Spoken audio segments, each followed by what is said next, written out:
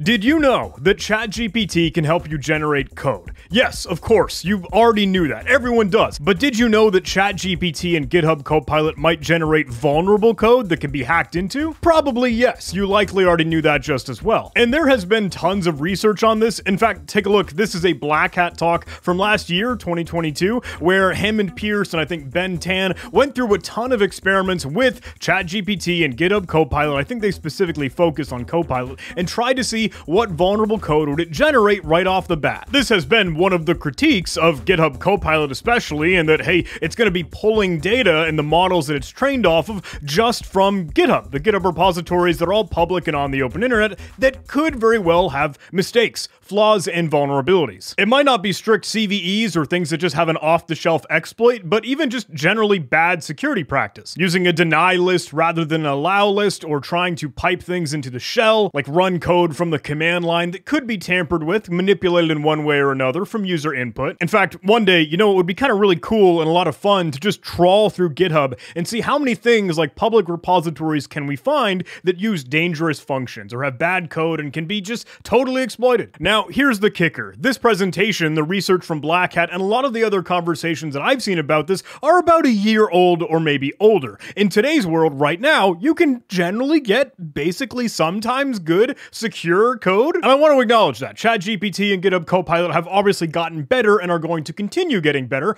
but they might overlook something that is just kind of inevitable. And here's the tidbit you probably didn't know, because at the surface level, code might look secure. In fact, we can put this to the test by asking ChatGPT to review some of my code. Now I know, intentionally vulnerable, these are four capture the flag challenges, but I want to see what it finds and what it doesn't find, if anything. And then we'll let ChatGPT try its at creating some software and seeing is it secure or are there vulnerabilities lurking in there somewhere that might not even be visible to us at first glance. So I'm in my Kali Linux virtual machine and I'm going to grab some code that I wrote for a just hacking competition in the Jeopardy challenges for the CTFs that we've been hosting. And one of these challenges was called Transfer. It was based off of the MOVEit transfer exploitation, the uh, incidents that we saw across the security landscape. And I just want to take a look at how this thing comes together. Now, there are write ups available for this. You can find it online. But if you take a look, the app here, the application, was meant to be just a program that would allow you to upload or transfer files. We'll dig into the source code in just a second, but let me show you how this thing works so you can kind of get a feel for it. Let me do a docker build, and I'll do a docker run tac p on transfer as that name. Localhost 5000, this is the transfer login. Now, we do not have any username or password to be able to log in with, so there wasn't going to be a whole lot of operations that they would be able to do as the player to break into this, but you might be able to do some SQL injection to manipulate the database This source code is given to the player or the users that got to see this application so they could see, hey, some things present in the database or users that are created, and there weren't any, but you could at least see the functionality of the application. In fact, the login page that does have known SQL injection by just passing in the username and password that are supplied in the request. However, they are ran through a function called db clean, like database clean, to try to sanitize things. However, it's bad sanitization. It just tries to to remove certain characters or replace them with others. Ultimately, this could be exploited in a very similar way as the real MOVEit transfer application that we saw beat up and exploited through Memorial Day weekend of 2023. They pull from active sessions, they try to stage some files in the API, and then they get to do some deserialization attacks, or in which case they're able to execute code. Now, if I copy and paste all of this, can I pass it to ChatGPT and have it find a vulnerability? Or multiple vulnerabilities? Can it determine the full exploit chain to be able to run code here? I'll say, is this code safe? And I'll put some backticks here and slap it in. Upon inspecting the code, there are several potential issues and vulnerabilities. SQL injection. Okay, so it immediately sees the SQL injection given the username and password uh, that we were able to see from the login prompt, and it notes the db clean function, which I just described, is insufficient to protect against SQL injection. Blah, blah, blah. It goes into some session handling, password security. It denotes the pickling, so we can do some deserialization, and it might be able to determine that, oh, you could, uh, oh, actually inject malicious data into the files table that could execute arbitrary code when the pickled data is loaded. Next up, let's try another challenge. I had a museum challenge that I had created for the same capture the flag competition. This is another Flask application, and while there are no SQL injection opportunities, it is rich with some server-side request forgery, being able to retrieve unique artifacts in the museum. Only if they are images in that case. You have to look for specific images, and somehow you have to be able to bypass that to be able to get data, and you might be able to retrieve anything else that you might want. However, you'll have to trick it for some of the local requests through server-side request forgery, RFI, remote file inclusion, blah, blah, blah. Let's give that to ChatGPT and see if it finds anything else that might be exploitable.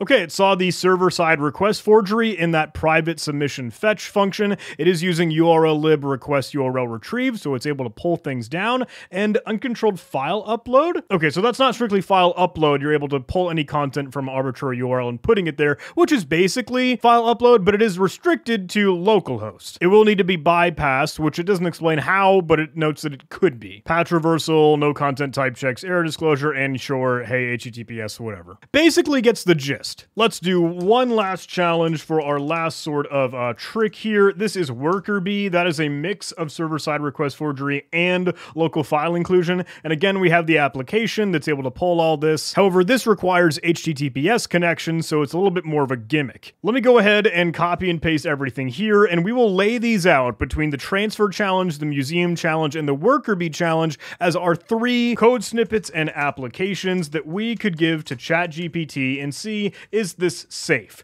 To see, look, does it have a good idea of what is vulnerable code? And Following that, will it generate vulnerable code after? Okay, so it sees the server-side request forgery token just right there. It notes that it needs to have an HTTPS URL, and session-based logging and error disclosure are not too big of a deal in my mind. Lack of input sanitization, even though we're checking for HTTPS, there's something else that might get in the way.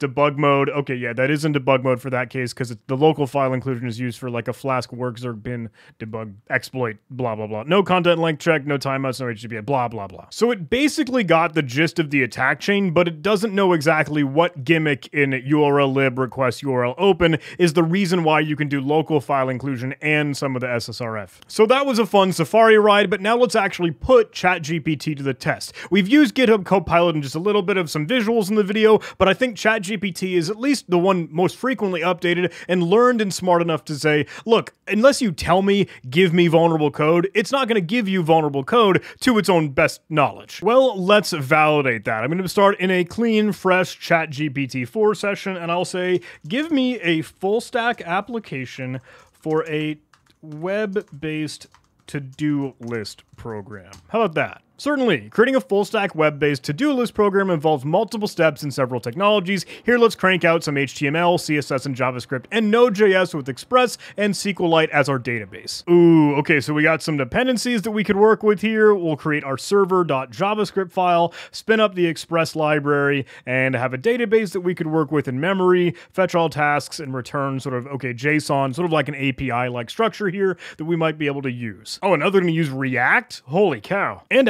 Axios. Okay. Hey, while ChatGPT is cooking this up, I would love to take a second to tell you the perspective from today's sponsor, Snyk. Artificial intelligence coding tools like GitHub Copilot or ChatGPT can help you generate code fast, but it might not always be the best idea. Generative AI coding tools are only as good as the data they're trained on, so they may often include vulnerable code in their suggestions. That's risky, and ultimately, you'll need to spend time fixing the vulnerabilities later, or responding to an incident. While AI tools like ChatGPT and Copilot can speed up development, they should be paired with security tools to make sure that generated code is secure and will actually save you time. That is where Snyk comes in. Snyk secures your code faster than you can generate it. If you're using a tool like Copilot, then you should use Snyk alongside it to help secure the AI generated code. With Snyk, you can see what vulnerabilities are hiding in your code, open source dependencies, and containers.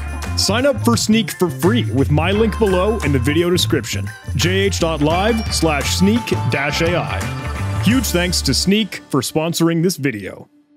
All right, now let's blindly copy and paste everything that ChatGPT just gave us. We'll get back to our terminal, we'll create our application, installing a bunch of these things here to build out the dependencies necessary for our app. Let's spit together our server.javascript file. Let's grab Axios for our front end. Let's create our React front end. We'll copy and paste that code in. Now we can start the backend server that is fired up. And now let's start our front end and that should fire up just as well. All right, here we go. This is our localhost 3000 an application and I could say, uh, subscribe to John. Add.